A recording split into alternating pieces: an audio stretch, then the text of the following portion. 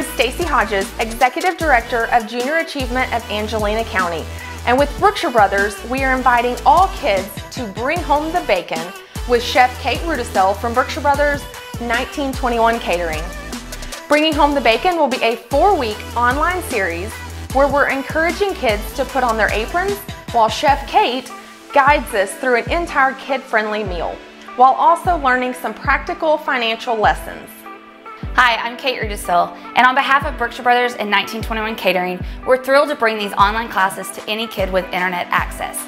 Memories are always made in the kitchen, which is why I'm so excited to share these delicious recipes that will get kids excited about cooking. We know the kids will have tons of fun learning these delicious meals, but we also want them to start thinking about important financial lessons too, like creating a budget and eating in versus eating out. Bringing home the bacon is the perfect recipe of fun and education. Sign up today to join in all the fun and support junior achievement of Angelina County.